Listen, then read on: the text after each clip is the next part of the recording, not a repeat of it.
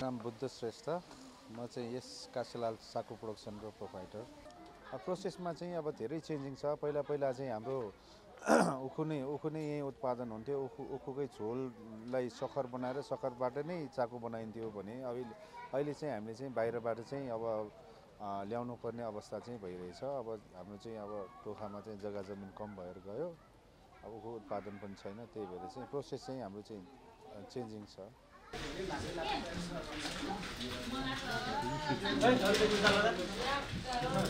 Shortage गराउँछन्। अब कुनै बेला सिट लवर भएपछि सखरै उत्पादन हुँदैनन्। अब टाइममा हामीले काम गर्न पाउँदैन। टाइममा काम गर्न पाएन भने हामीले चाहिँ अब हाम्रा कस्टमरहरूलाई चाहिँ हामीले चाहिँ चाको टाइममा चाहिँ दिन सकिँदैन। त्यही भएको हुनाले चाहिँ चाकुको सिजन भनेको मङ्सिर मङ्सिर र पुसमा हो।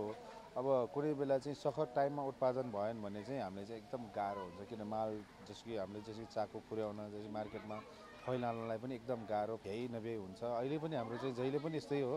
तपाईँको अहिले भ्याइ नभ्याइ काम भइरहेछन्.